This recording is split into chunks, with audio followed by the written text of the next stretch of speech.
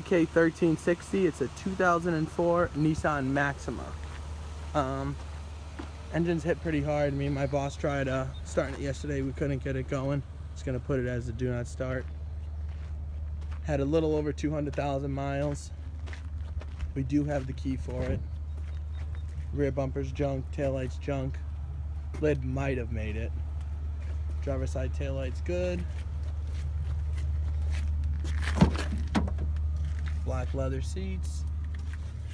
It's got the navigation screen, but no GPS.